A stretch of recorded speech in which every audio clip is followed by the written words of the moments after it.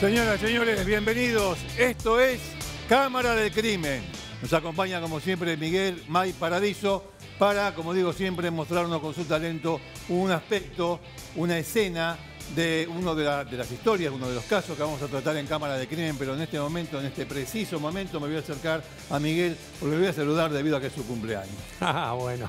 Felicidades, Muchas- Miguel. Gracias, Ricardo. Eh, cumpleaños de Miguel, así que los saludos van para él. Bueno, amigos, nos metemos directamente ya en el primer tema del, programa, que tiene que ver con el cuádruple crimen de eh, San Miguel del Monte.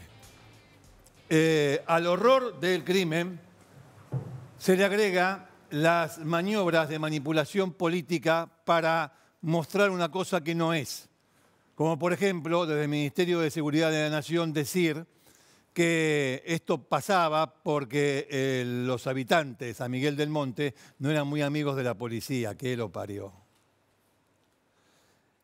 Pero no solamente eso, a las cuatro muertes se agrega un procedimiento habitual en la policía. En la policía corrupta, en la mala policía. Hago estas aclaraciones porque siempre hay buenos policías, ya lo sabemos. Buenos policías que nunca denuncian a los malos policías, ya lo sabemos. Pero detrás de estas cuatro muertes, detrás de este salvajismo por parte de aquellos que portan un arma, que le dimos todos, detrás de esto hay una enorme maniobra de encubrimiento para mostrarle a ustedes directamente en los hechos, ya no en el discurso, en los hechos, que lo que ocurrió no ocurrió. Es la peor perversión que se le puede que se puede ver luego de aquel salvajismo de la muerte de los cuatro chicos. Para seguir con este tema, para analizar el encubrimiento de los crímenes, impacto. Estos asesinos, va, no sinvergüenzas, asesinos, porque yo de otra manera no los puedo catalogar. Asesino de, de cuatro chicos y, bueno, y estamos esperando que Rocío, pobrecita, este, vuelva a estar con su mamá.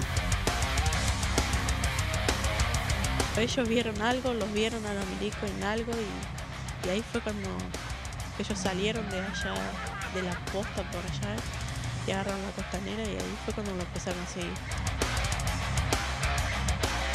Yo digo que él iba a parar, pero él tuvo miedo cuando vio al policía sacando la mitad del cuerpo por la ventana y empezó a disparar.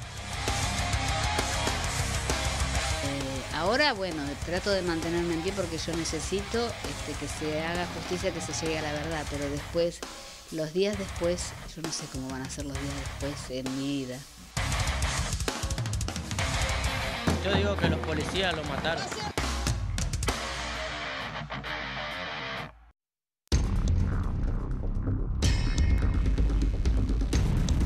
La trama de encubrimiento detrás de la masacre, porque sí, como se escuchaba, a los pibes los mató la policía, a pesar de que la policía eh, quiso este, mostrar otra cuestión. Pero ¿sabe lo que significa?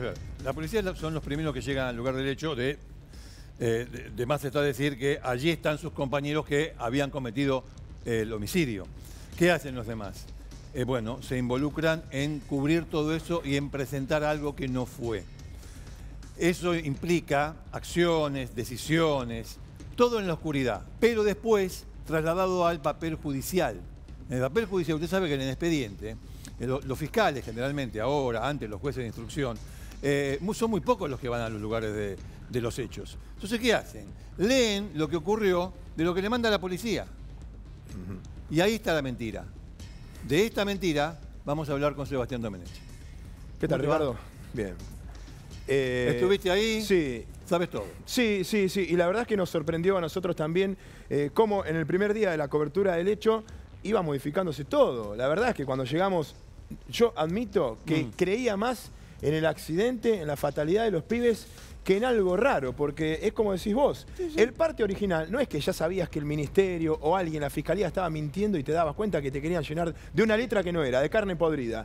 Te lo estaban diciendo desde su verdad, pero que no era la de los policías que habían intervenido. Actuaron de entrada, la gran mentira obviamente, el encubrimiento son de los policías que intervinieron en el hecho.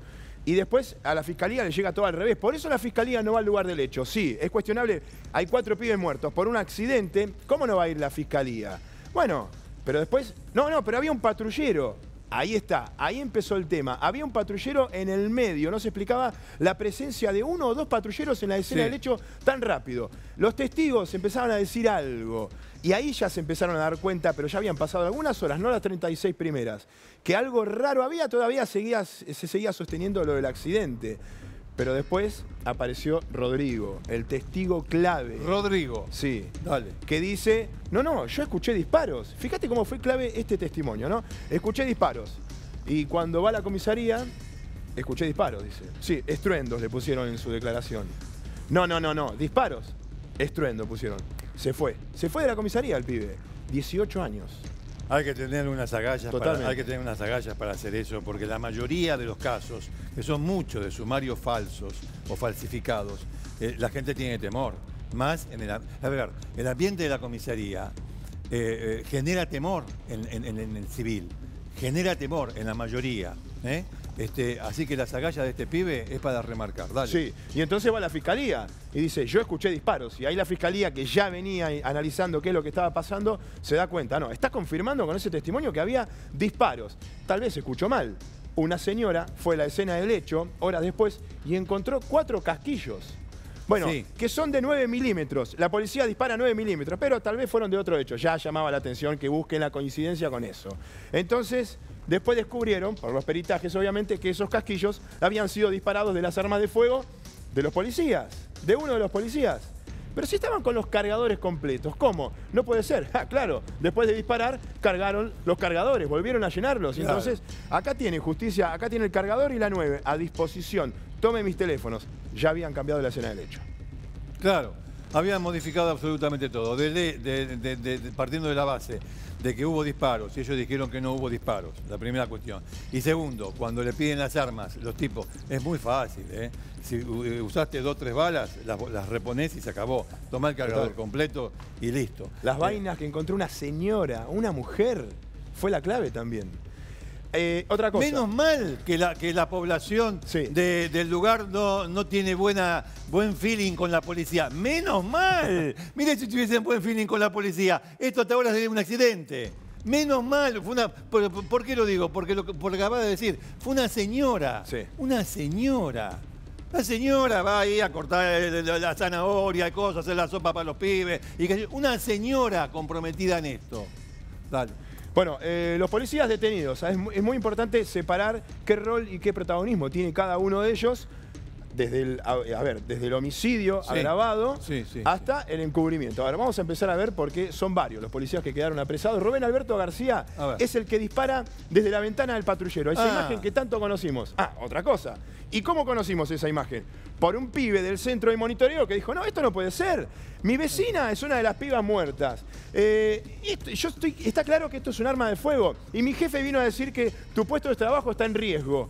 ¿Por qué? Porque había que, no teníamos que decir nada. Ah, pará, pará, pará. ¿Lo apretaron? Ah, eh, eh, Se chico. sabe a partir de una declaración que ahora, ahora vamos a repasar Sí. que el secretario de seguridad llegó al centro de monitoreo y entre otras cosas les dijo sus puestos de trabajo están en riesgo. Ah, bueno. Bueno, ese, La ese- defensa va a decir, claro, tienen que trabajar bien, tenemos que descubrir qué fue lo que pasó. No, no, escúcheme, ya, ya no nos tragamos esos sapos, ¿eh? A los defensores. Hablando de defensores, Sí. pero antes de seguir, al final de cuentas, ¿quiénes son? ¿Son particulares o son.? Eh, ¿Quién? ¿De los policías? Ah, sí, de los policías, no, sí, sí, particulares, pero en realidad... ¿Particulares? Sí, sí, bueno, ahí hay una... ¿Cómo sí. hace un policía para Sí, pagar. Un, abogado particular? ¿Cómo hace? Guillermo Baqué está trabajando y habló, ¿eh? Habló, incluso habló... Sí, no, me lo- imagino las cosas que dirá. Dijo algo que Monreal, uno de sus defendidos, no dijo en la declaración, con lo cual es lo que el día de mañana va a llegar a decir tal vez. Bueno, no, no te posible quiero- Lo que pasa es que son tantas cosas. Además, Sí. lo, lo hemos adelantado porque esto lo venimos viendo desde que el mundo es mundo. Lo- esto lo venimos viendo el mundo es mundo, pero no te quiero eh, interrumpir más. Esilape, Leonardo Esilape estaba en el patrullero que persiguió a los chicos, ese mismo que vemos entonces por la avenida Almirante Brown, que el policía está del otro lado sacando medio cuerpo con una linterna, decían. Con una Ahí está. linterna. Es un arma de fuego, justamente, y es uno de Ahí los... está. Ahí, segundo después se va a dar un balazo. ¿Sabes que yo creo que acá está abriendo la puerta ya y frenó y se ve el stop? Sí. Abre la puerta y se ve el stop. El pibe, como dice el hermano de la víctima, de Aníbal. Mi hermano quería frenar, yo lo conozco, seguro que estaba asustado y quería frenar. Y escuchó los disparos y aceleró. Te, te voy a decir una cosa, hasta acá, viniendo la camioneta de atrás, todo este recorrido no es de una velocidad de persecución. ¿eh? No, totalmente. Ah, Todo este recorrido que vimos antes de- del- del coche de los chicos no, no- no llevaba velocidad de persecución teniendo el patrullero detrás. Con lo cual, ¿de qué estamos hablando? Ahora, cuando vos sacás un arma por la ventanilla, ya es otra cosa, me van a Todo cagar a tiro. antiprotocolo de cómo es una persecución, un cerrojo, un 911. Hay un sistema, los policías saben qué es lo que tienen que hacer. Y disparar el arma de fuego es cuando su vida está en riesgo, cuando ella es su última instancia, cuando Claro. los delincuentes se están Claro, atacando. claro, claro, No eran delincuentes, obviamente. Entonces, eh, bueno, esta es la famosa cámara de seguridad que gracias a Rodrigo conocemos. Manuel Monreal, otro gran protagonista en esta historia, porque fue el otro policía que disparó. Viste que recién veíamos un patrullero. Monreal no va en ese patrullero. Monreal va en otro patrullero que escucha la alerta y junto a dos policías más se sube a ese patrullero y dice, vamos, vamos a ver qué pasa. Vamos, sí. Y llegan a la zona y ven que viene de frente el 147 por la avenida Costanera perseguido por un patrullero. Después atrás viene otro patrullero, pero ve eso de frente. En vez de dar la vuelta a Nu acá, lo Sí. que hace es pegar la vuelta por el barrio para irse por una calle tierra y aparecer allá. Operativo Cerrojo. Para Y- agarrarlo de frente. Agarrarlo de frente. Y entonces, ¿qué hace? Cruza al patrullero en la mitad del camino. Y se viene el 147. Y se viene el 147. Y, y entonces el conductor, Monreal iba como acompañante, el conductor dice, hay que moverlo. Monreal se bajó del patrullero. Una mujer policía atrás, escondida, no entendiendo qué es lo que estaba pasando. Piba Monreal nueva. se baja así. Monreal se baja armado. El conductor del patrullero dice, se viene de frente, marcha atrás, medio metro, cruza, el- corre el patrullero para que pase. Y ahí es cuando pasa la línea y Monreal dispara. Lo que dice, que no dijo todavía en la indagatoria, lo que va a decir, o por lo menos dejaron trascender, es que él disparó porque su vida estaba en riesgo, los iba a pisar. Pero los balazos fueron atrás del 147. Se está yendo. Entonces, so- so- son mentirosas, son mentirosos. A ver, si va a decir eso en la indagatoria con, por, la, por la parleta del abogado, yo le voy a decir desde ahora, acá, acá, son mentirosos por lo que acaba de decir él. La, el hecho, la escena, le muestra a uno lo que pasó. No se puede modificar esto con las palabras.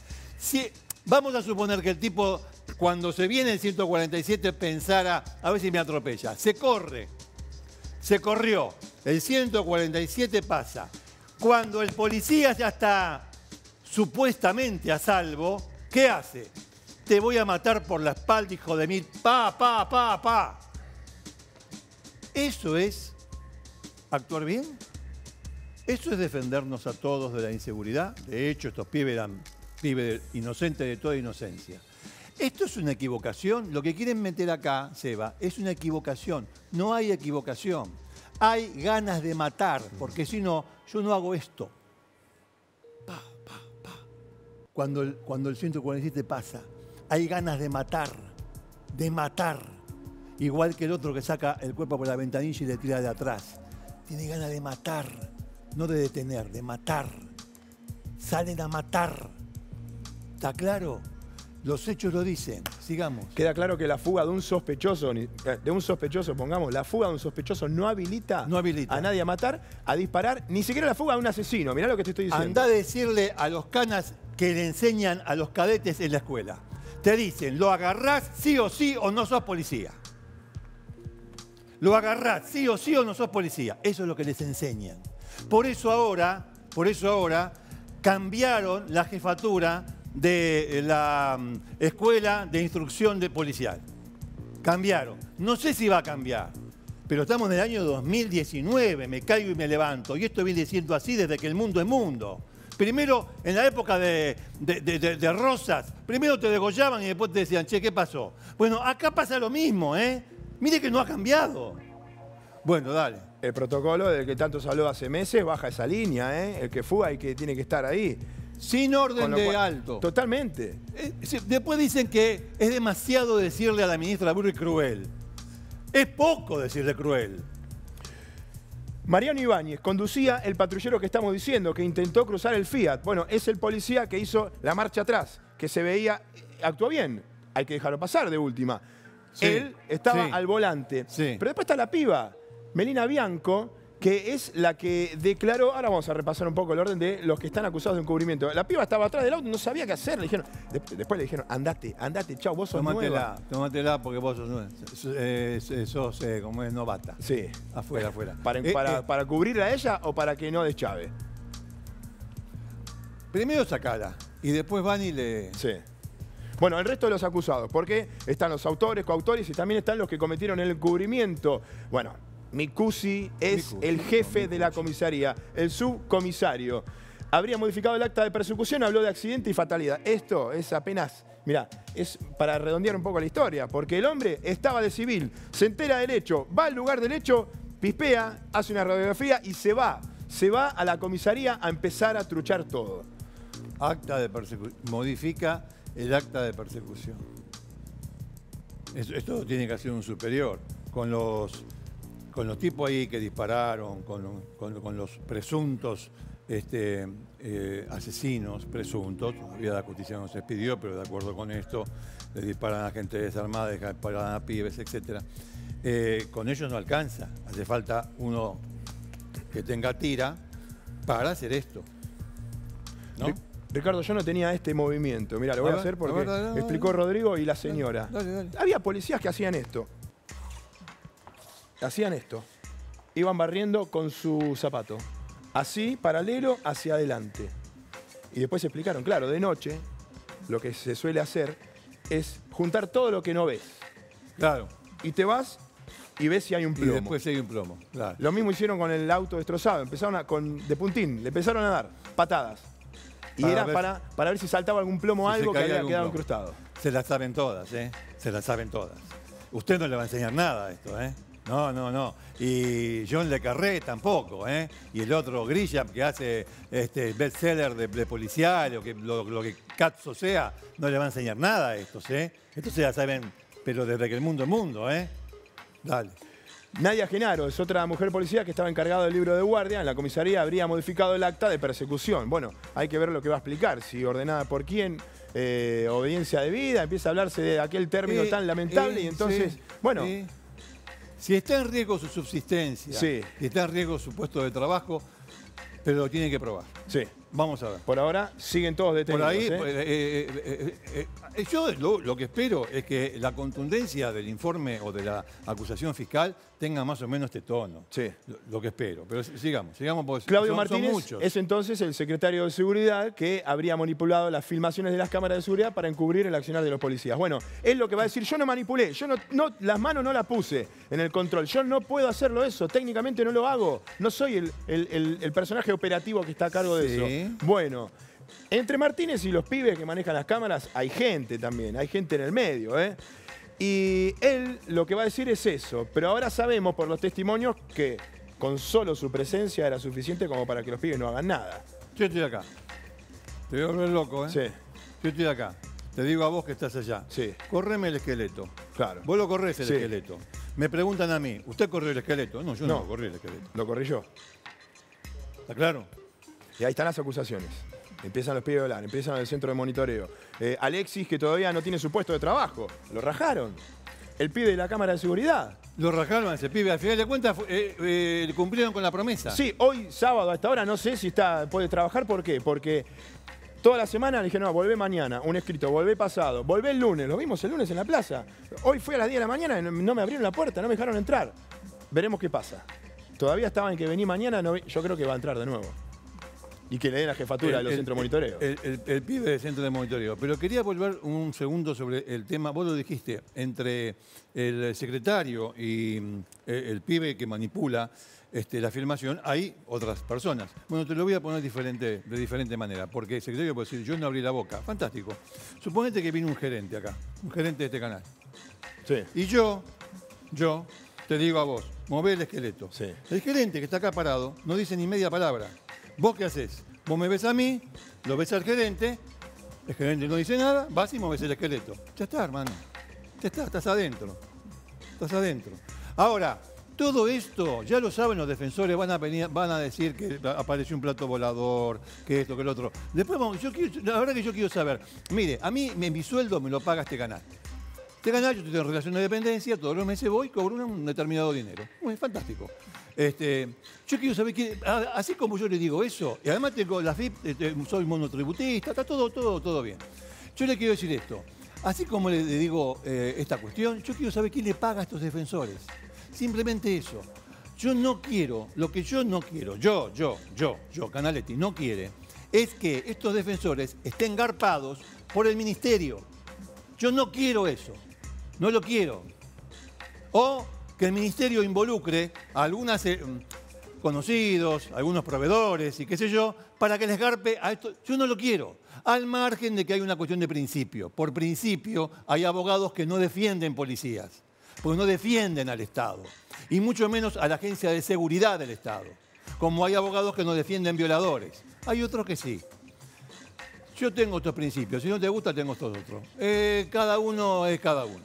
Bueno, dale. Bueno, y bueno, acá tenemos estos José Manuel Durán, estos oficiales, y Héctor Ángel, que habrían también insertado las declaraciones falsas en el sumario. Obviamente todo por el encubrimiento para tratar de modificar cómo se habría originado todo, que todavía no sabemos ¿eh? cómo arrancó la persecución. Sabemos por qué dispararon tal vez, pero no el cómo arrancó la persecución. Y Juan Manuel Gutiérrez, Cristian Riguero y José Domínguez también acusados por lo mismo que los otros, falsedad ideológica de instrumento público y encubrimiento agravado. falsear eh, los documentos Claro. y bueno, de El acta y demás, el parte. Bueno, ¿Qué pasa con Melina Bianco? la, la policía, la mujer policía que iba detrás de Monreal en ese patrullero, es la primera que habló, es la que deschavó toda la mentira. Su declaración confirmó el encubrimiento. Fue ante la justicia. Ah, no se estaba entregando, todavía no estaba detenida, fue la última en ser detenida de la primera tanda. Y entonces eh, la gendarmería ya estaba actuando. Y se enteraron que había una chica que estaba llorando en la comisaría. Y era ella. Y era ella, la fueron a buscar, venga, venga por acá, y fueron a la fiscalía y contó todo. Tenía ganas, dice que no paró de llorar desde que ocurrió el hecho. No sé si es verdad o qué, pero no se aguantaba toda esa presión de haber visto todo lo que realmente había pasado. ¿Por qué estamos haciendo todo esto con relación a la muerte de cuatro chicos? Primero porque es una barbaridad que maten a cuatro chicos inocentes de toda inocencia. Vuelvo a insistir con esto. Este, para remarcar que no nada que ver con nada. Este, bueno, pero ¿por qué, está- por qué ponemos tanto énfasis? Porque estamos con Sebastián este, repasando toda esta maniobra de encubrimiento que hubo, los hechos eh, eh, originales y los maniobras encubrimientos. ¿Sabe por qué? Porque no queremos que vuelva a pasar. Porque va a volver a pasar lo vienen haciendo, insisto, desde 1810 y antes también. Lo vienen haciendo desde toda la vida. Lo vienen haciendo. Ahora, ¿qué son enemigos nuestros? No voy a entrar en ese terreno. Hoy no. En otro momento tal vez puede ser. Eh, ¿Qué tiene? Es decir, ¿usted defiende a los, a los delincuentes? Ellos son delincuentes pueden vivir en una villa, pueden eh, haber nacido en un ambiente tremendo, producto de las, de las desastrosas políticas económicas, sociales que hemos tenido en este país, de las condiciones políticas que ha habido en este país desde hace más de 70 años, más de 70 años, eh, porque, eh, porque el índice de delincuencia siempre fue creciendo, nunca se estabilizó, siempre fue creciendo. Pueden tener un uniforme, pueden tener un delantal, pueden tener un guardapolvo, pueden tener un traje y corbata. En este caso, la policía, por el hecho de ser policía, no está exenta de criminalidad. No hay exención de criminalidad porque vos te pones el traje de policía y vas un año, seis meses, un año, dos años a la academia. No, no. Hay otros condicionamientos que tienen que ver o que hacen a la criminalidad del policía. No le voy a hacer más una, una editorial de esto, pero es para los que dicen, uno defiende, vos defendés a los... Cuando, cuando te quieren agredir ya no te tratan de usted, te tratan de vos. Vos defendés a los eh, delincuentes. Eh, la constitución es igual para todos. ¿eh? La constitución es igual para todos. Y los tipos que cometieron esto son presuntamente delincuentes. Dale, se va. Bueno, Ricardo, esta, esta última imagen es la que sirve para aclarar un poco el panorama. Acá ver. fue, acá es donde termina todo. Esta es el almirante. A Mirá, ver, acá es la- mire, Avenida Costanera. Dale, exactamente. dale, dale, Laguna de Monte, Avenida Costanera. Y entonces acá venían los pibes con el 147. En un momento, una de las que cruza es eh, Avenida de la Victoria. Ahí se suma el patrullero. No sabemos qué pasó antes. Acá. En el barrio Montemar. No sabemos qué pasó, cómo el patrullero cruza ese auto al que estaban buscando, acá lo cruza. Y entonces en la persecución llega por acá, dobla a la izquierda, en Almirante Brown, esta es la cámara que muestra el policía sacando Ah, su brazo la por la acá. ventanilla, claro, por donde Claro. va a pasar la moto. Sí. Acá se va a venir la banquina, va a seguir derecho, perseguido por uno y por otro patrullero. El otro ya dio la vuelta por acá Ah, y lo va a y se va a adelante. cruzar acá. Acá son los disparos. Fíjate cómo vamos a llegar justo al lugar del hecho. Entre esto y esto acá son los balazos y termina todo en este lugar que se une con la ruta 3 por donde va el camión. Esta es Almirante Brown, acá son los disparos y ahí terminan chocando. Ahí son los disparos son los y acá disparos. terminan chocando. Exactamente. Y ahí está la ruta. La colectora de la ruta 3. Perfecto. Esa es la escena del hecho. Mirá, no es mucho la persecución, ¿eh? no es. Fueron No, no, por, no, todo, la- por todo monte, la gente cree que es, son 5 o 6 minutos No, todo. Bueno, Seba, Bueno, Ricardo, te agradezco muchísimo. ¿eh? muchas gracias. Este, va- quedó todo, todo muy, muy claro. Este, la- ¿Cuál es la situación en este momento? La última pregunta que te voy a hacer es si hay alguna novedad- con relación a la chiquita que está internada. Está mejorando, está está, mejorando. está grave, está mal, pero está mejorando. Cada hora que pasa, está mejor. Bueno, te agradezco mucho. Sebastián. Este, es, eh, fue muy, muy instructivo lo que nos trajo Sebastián. Pero vamos a seguir con este asunto de, de policías. Este, que es un programa antipolicial, este no. Puede ser un programa antimédico, puede ser un programa anticura. Eh, ¿Cuántas veces hemos hecho acá abuso de.? No, no, no. No encasillen. No encasillen. Abran la mente y vean que estas cuestiones se pueden dar más allá de la profesión que pueda tener cada uno. O, de acuerdo con la que, que pueda tener cada uno, se encubre de determinada manera. Eh, vamos a hablar de presos, delincuentes, delincuentazos, gente de lo peor, de la peor ralea, de la peor calaña, asesinos, ladrones, que en un traslado se escaparon. Usted recuerda lo que yo siempre vengo, bueno, lo que vengo diciendo desde el año del 11 de febrero del 2014 que comenzó Cámara de Crimen y antes en las columnas de técnica, ¿qué es lo que yo siempre digo cuando hay una fuga? Miren a los guardias. Póngale un ojo al guardia, porque fuga sin intervención de los guardias, difícil, difícil que haya más allá de las películas de Estados Unidos. Para presentar este caso de la fuga de presos en Santa Fe, ¡impacto! Dimos un tiroteo, yo estaba acá en mi negocio y bueno, salí al rato gendarmería en la esquina tratando de entrar a la casa donde ya habían sido los tiros, ¿viste? Yo me arrimé el hombre, el dueño del local estaba tirado con un par de balazos en el estómago y bueno, tratamos de ayudarlo pero estaba muy mal, muy mal como le tiraban los tiros desde afuera, el ensañamiento que tenían. Pues me tiré al piso porque no sabía en qué terminaba eso. La ambulancia no llegaba, tu- un vecino tuvo que llevarlo a- al hospital él y muy mal herido y bueno, después todo el operativo que vimos y adentro había uno de los chorros herido también. Y Se defendió a los tiros esta persona, el comerciante. Sí, sí, porque le entraron a robar y. Bueno,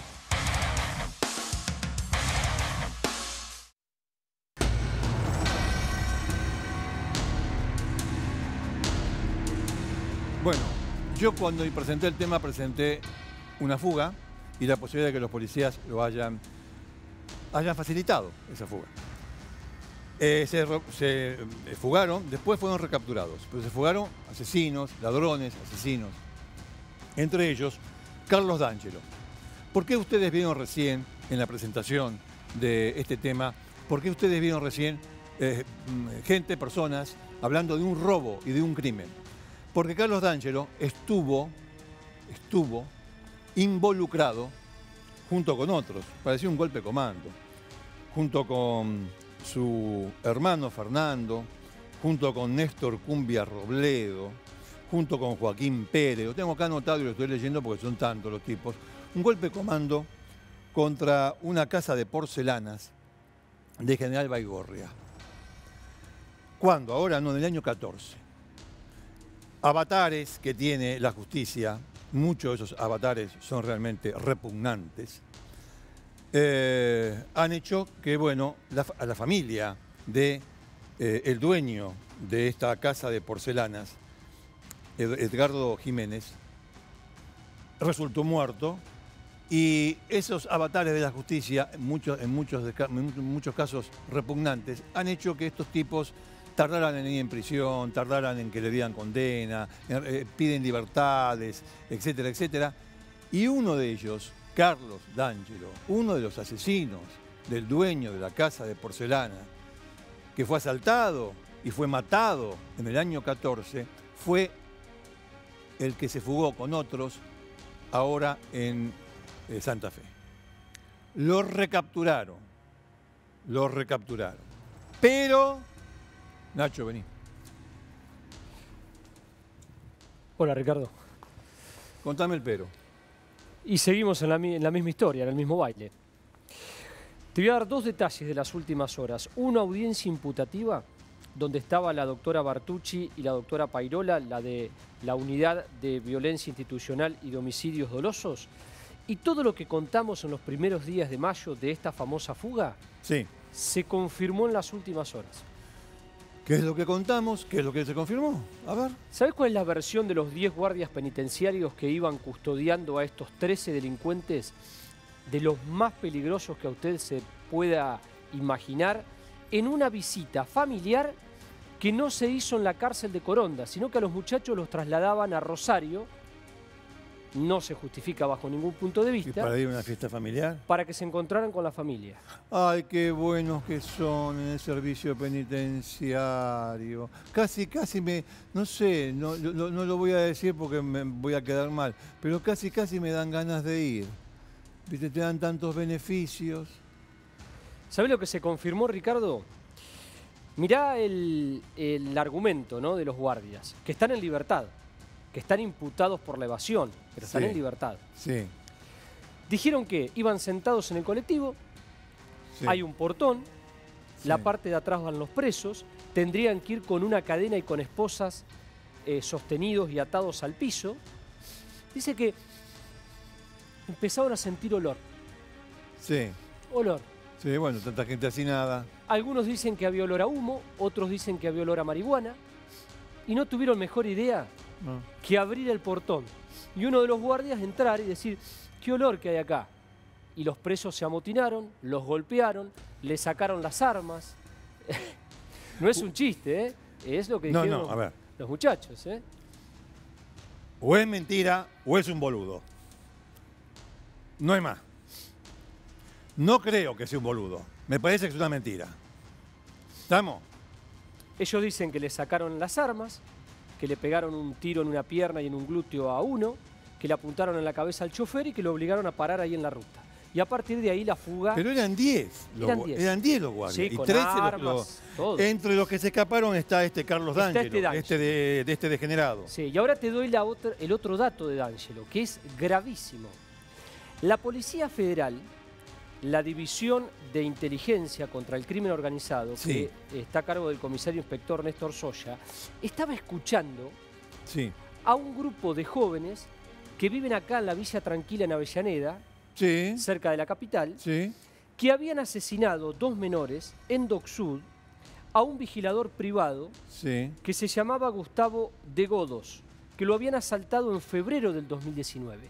Estaban escuchando. Estaban escuchando ese caso, escuchas relacionadas con ese La tema. Policía Federal Sí, escuchaba sí. hasta que en un momento una señora que se llama Nancy Esther y su hijo, que vive acá en la Villa Tranquila, que se llama Wilfrido Rizo Patrón, la mujer vive en Villa Gobernador Galvez, Sí. le dice, el hijo le dice a la mamá, ¿sabes una cosa mamá?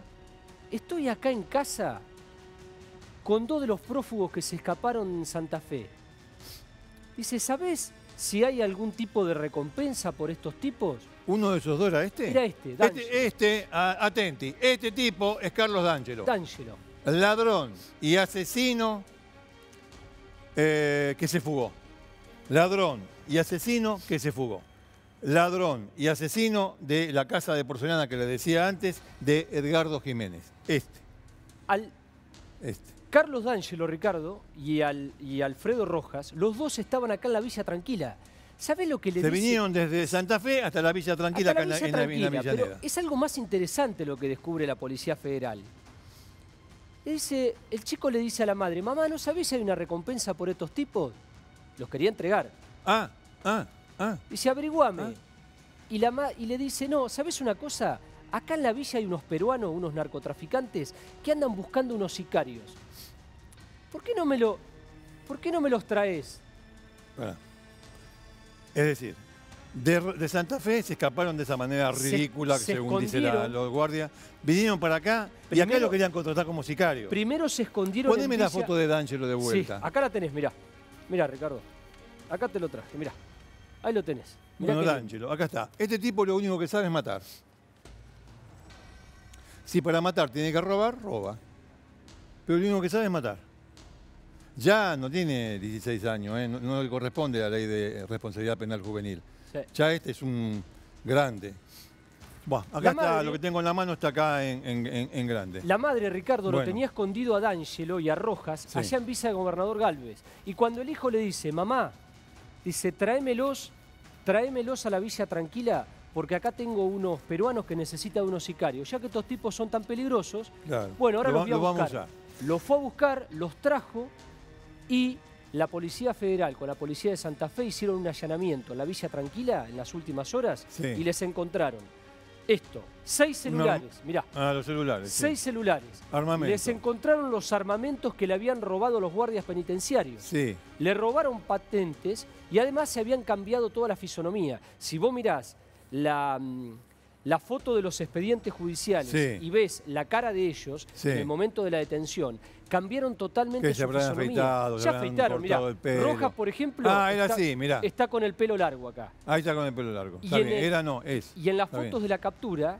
está totalmente rapado. No, es al revés. Así era y cuando lo agarraron se rapó. Se rapó. Y. D'Angelo también. se D'Angelo lo mismo que está. Bueno. La, la fisonomía. Escúchame, tenemos Terrible. una, una este, invitada que nos va a hablar de este tema.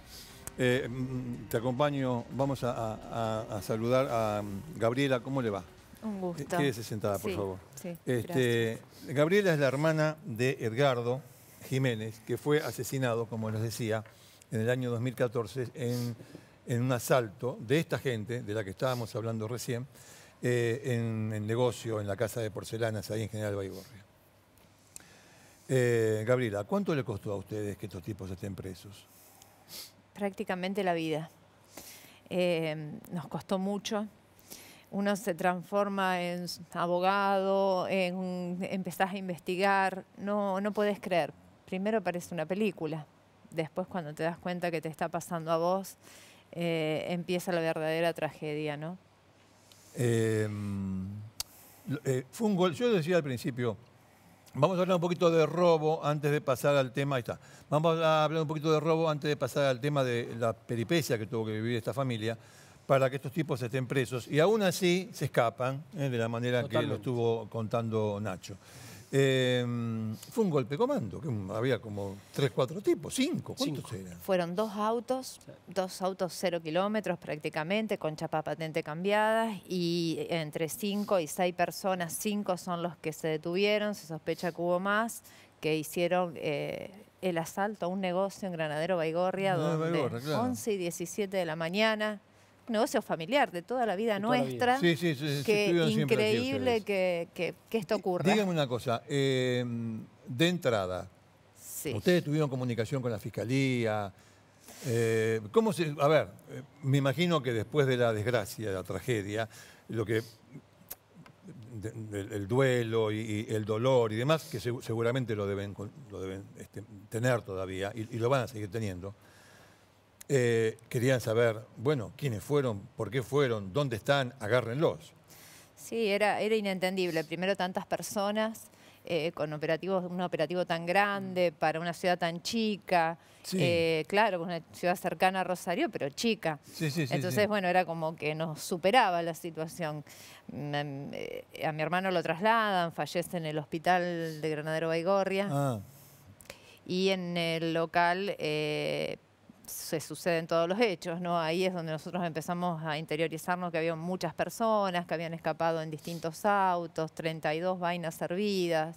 A mi hermano le impactan dos vainas, en dos, dos tiros en el cuerpo. 32 tiros. 32 tiros. vainas servidas. Y lo mataron por la espalda. Sí. Lo matan, por, la por la espalda. espalda. Esta persona que usted estaba Este mostrando. D'Angelo, es este él asesino. después se comprueba en el juicio oral, la fiscalía logra demostrar que el arma cotejada de D'Angelo correspondía con el arma que mata a mi hermano. ¿Cuánto tiempo pasó entre el asalto, que los detuvieran, que los condenaran? ¿Cómo fue todo eso? Eh, entre el asalto, que fue el 30 de octubre del 2014, se los detiene en diciembre, eh, a tres de ellos y faltaba uno de los D'Angelo, porque evidentemente Eran este era un hermanos. grupo, claro, este era un Eran- grupo que trabajaba Sí, sí, sí. y a un par de meses más se detiene a D'Angelo, que era el último que quedaba. Yo noté por acá que también cayó después este Pérez, Joaquín Pérez, ¿puede ser? Pérez eh, cae en el grupo con eh, en diciembre. Lo que pasa es que a Pérez lo dejan salir de Coronda. Eso es Lo- increíble. lo- Esto, esto es... fue Lo dejan salir de la cárcel. Sí. Ese, Ah, ese dato Pero es de aparte. ¿cómo? ¿Cómo lo dejan salir? Porque. Joaquín Pérez era una persona que venía cumpliendo una condena antes que mi hermano, antes de matar a mi ah, hermano. ya tenía antecedentes. Ya tenía antecedentes. Y condena. Ya estaba condenado, Mm, tenía que había arreglado con un abreviado y tenía que estar en prisión y tenía salidas laborales. En esas salidas laborales es que mata a mi hermano. Hace este hecho. Hace, hace este hecho. Claro. Se lo apresa, se va a juicio, eh, se le da prisión preventiva. En esa prisión preventiva, igual ella tenía que estar cumpliendo años anteriores, pero Sí. se le dan prisión preventiva Sí, y bueno, lo, eh, lo mandan a Coronda y en Coronda un día, sin sabemos por qué, no sabemos realmente qué pasó, le abren la puerta y lo dejan ir, con pasaporte, DNI, su ropa, su celular. Pagó todo. Le pagaron todo. La excusa, ¿sabes cuál es, Ricardo? Que se confundieron de foto, que había dos tipos muy parecidos. Sí, sí. O mirá. Pérez, o muchos Pérez. O muchos Pérez. Ah, hay muchos Pérez, Muchos señora. Pérez, sí, hay muchos Sí. Pérez. mirá, Muchos mirá. Pérez. Este, Nacho, dale. Hay un dato, Ricardo, que recién lo marcaba. Tanto Robledo como Carlos D'Angelo, cuando van a atacar la- el comercio, Sí. estaban prófugos y evadidos por una condena de robo calificado. Y Alba, que es el que muere en el tiroteo porque Jiménez se defendió con un arma que tenía, Sí. eh, ante cinco delincuentes, y Pérez tenían salidas laborales, es decir, los que fueron a hacer el ataque comando, Sí. unos estaban evadidos por una condena de robo y otros con salidas laborales. Es decir, ahí falló Una el sistema también. Una vergüenza. Eh, señora, ¿qué, mm, yo me imagino una pregunta obligada, eh, aunque cae de maduro. Eh, cuando se enteró de esta fuga, ¿qué, qué pensó? Una ¿Qué más. sintió? Una más. Una vuelta más de, la, de todo esto, de todo esto que venimos viviendo, ¿no? Con Pérez eh, llevó un millón y medio de pesos, le llevó al Ministerio de Seguridad eh, de recompensa De poder, recompensa. poder capturarlo. Se Encima lo pierden captura. plata, Bueno, por eso, por Sí, eso, no, y en sí, meses, no- no le digamos. cierra porque, por ningún claro, lado esta bueno, o volver a hacer otro juicio oral que se le tuvo que hacer al solo. Ah, claro, claro. Porque, porque claro, los otros ya fueron juzgados. Entonces, cuando escuchamos esto, apenas sentimos, apenas supimos, a los 10 minutos estábamos ahí porque para casualidad se escapan en Granadero Baigorria. Eh, A cuadras, a cuadras A del cuadras. Y roban cuadras autos y amenazan vecinos. Entonces, bueno, el pánico entra por todos lados, ¿no? Y, Por supuesto, y- sobre todo, ¿a dónde están? Claro, dónde están cerca, ahí- son los que entraron, saben, claro. saben todo, conocen nuestra casa, entraron por todos lados. eh, bueno, todo eso pasó, llevó momentos de mucha angustia.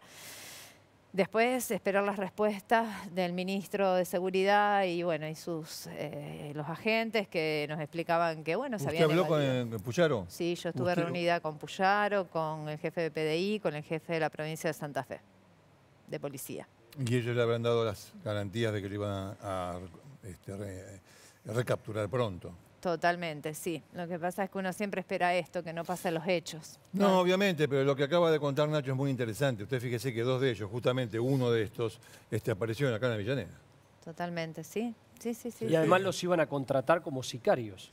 Sí, por eso era seguir Continuar matando. su vida matando. Y aparte de entender que en estos 20 días que ellos estuvieron prófugos, pudieron haber matado más gente como mi hermano, no- que no sabemos. ¿Sabe que me estaba, estaba pensando cuando usted contaba todo, to- todas estas peripecias? Este, que, que aún con condena, la- los familiares de las víctimas, en este caso, porque hay, hay un hecho de sangre, hay una víctima mortal, pero los familiares, o los familiares de, de- de- de- de la víctima mortal, eh, a pesar de la condena, siguen sufriendo. Totalmente. Totalmente. uno dice, bueno, lo condenaron, ya está, listo, pasemos, demos vuelta a la página. No. No, no es así. Mi papá eh, esto tiene, es como una bomba, tiene un efecto expansivo gigante. Mi papá mm, tiene cáncer al día de hoy, no tenía cuando antes de que maten a mi hermano. Mi mamá tiene una enfermedad autoinmune que no le pueden descubrir de dónde viene, que también se relaciona con el hecho de mi hermano. Eh, yo perdí prácticamente mi vida en este proceso porque me dediqué permanentemente a buscar justicia. Algunos dicen, ¿por qué a través de los medios? ¿Por qué a través de la exposición? Porque estoy convencida que es un poder muy importante la comunicación. Y bueno, tenía esposa, tenía hijas. La verdad que hizo, hicieron un desastre. Hay un detalle, Ricardo, em, que habría que marcarlo, ¿no? Contame cómo, porque el hermano de ella trabajaba con el papá y con la mamá. Ese día el papá estaba de viaje acá en Buenos Aires y la mamá salió unos minutos antes a hacer una compra.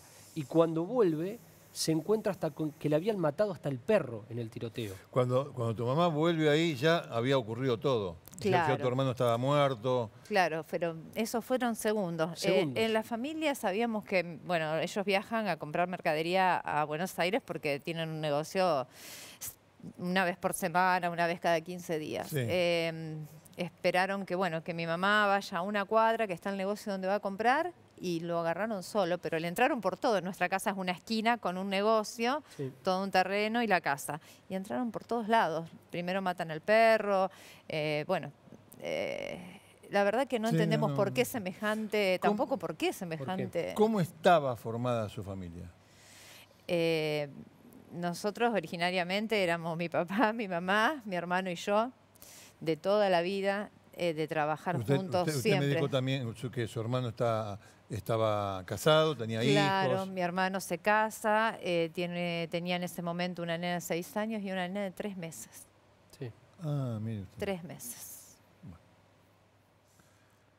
Bueno, este... Y todavía continúan, porque en definitiva el temor no se lo saca nadie. El temor no te lo saca nadie y tampoco nadie te da las garantías necesarias. Si a través de un habeas corpus sacan a pasear a los presos como lo sacaron, porque esto es importante. alguien, un, alguien de la Defensoría Penal Pública firma un habeas corpus de 3.000 personas. ¿Cómo sabe quiénes son esas 3.000 personas? personas. ¿Cómo sabe quiénes son? ¿Cómo las identifica? ¿Qué hicieron? Si son de peligrosidad, si no. Y las sacan a pasear, a ver a las familias. ¿Quién nos lleva a nosotros a ver a mi hermano? O sea, aparte la peligrosidad de la ruta, Ricardo. Pero al margen, una cosa. Desde que el mundo, mundo, si a, vos te agarran por un hecho así, qué sé yo, te condena, te mandan a una prisión. Eh, la gran dificultad siempre ha sido este, de, hablando de derechos humanos justamente, es de la familia, del tipo que está adentro, del tipo que está preso, de vincularse o de seguir vinculada con él, este, estando en una unidad penitenciaria más o menos cercana a su casa. Porque una de las formas de castigar a los presos este, es estoy incluyendo todo, ¿eh? es, por ejemplo, si el tipo es de capital, mandarlo a Ushuaia. Es una manera de, eh, de eh, castigarlo aún más. Pero al revés nunca se pensó. Al revés es una barbaridad. No, no, no, no. Es decir, es como si, como si te cruzaras la línea. Si está bien, acá hay una línea. Por algo estás en cana, porque mataste, porque robaste, tienes que cumplir. Estamos todos de acuerdo. Tu familia sufre. Y sí, si hiciste esta semejante macana, eh, obviamente que va a sufrir tu familia. Tiene que ir a visitarte, todo eso. Pero al revés, y al revés es como si le pagaran una vacación. Claro, aparte que, bueno, en el caso de D'Angelo, él fue únicamente a ver a su novia, a tener eh, relaciones sexuales. Claro, sí, sí, está puesto así. Visita sanitaria fue lo que, sin haber cumplido el dos tercios de la condena y teniendo en cuenta que cuando mató a mi hermano estaba prófugo. No, no, escúcheme, yo no, no, no se puede admitir, no se puede admitir. Una, yo, yo, pensaba que esto era porque, bueno, se estaba por morir el padre, entonces le dejaban ir a ver al, cementerio, eh, a la madre que hacía dos, tres años que no la veía, bueno, la pobre vieja, qué sé yo.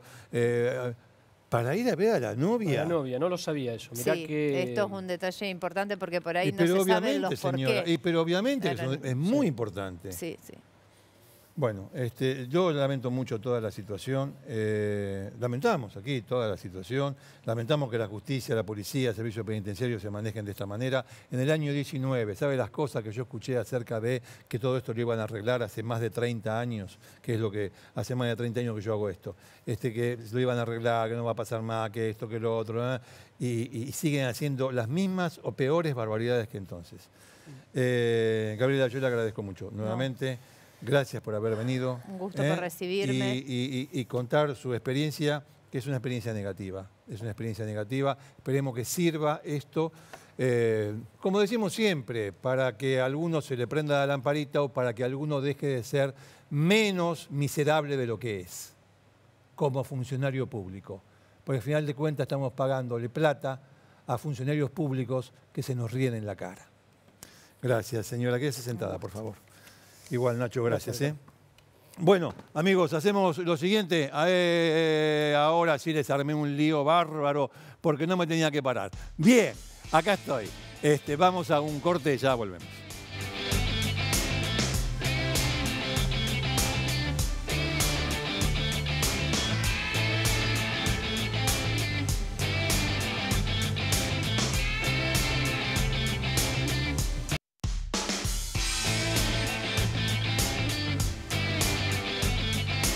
Amigos, se nos fue el programa. ¿eh? Vamos a ver a Miguel Paradiso que eh, en el día de su cumpleaños Sí. este, nos... 28.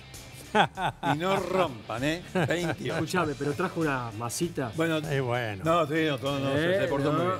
eh. Bueno, a ver, la mirada de Miguel Paradiso Sí. acerca de la fuga de presos eh, que provocó justamente la segunda parte de Cámara de Crimen, que fue eh, hablar de estos asesinos que habían matado a un comerciante en General Baigorria y bueno, nada, los recapturaron, pero la familia sigue sufriendo. Bueno, gracias Miguel No, por, por favor, por esta- este cuadro, por esta, esta- esta mirada. Gracias. Eh, Nacho. Largá todo- basta de ver la, la lapicera, basta. Las colecciones, Ricardo. Nos vemos. ¿Estuviste bien allá? Sí, muy. Muy. bien. laburaste mucho, laburaste mucho. Bueno, todos laburan mucho, no sea cosa que después diga, ah, Nacho no le dijo nada, no, Nacho también. Nacho también. Acá laburan todos. Este, el que no labura soy yo. Bueno, eh, vediamo fra una settimana. Arrivederci.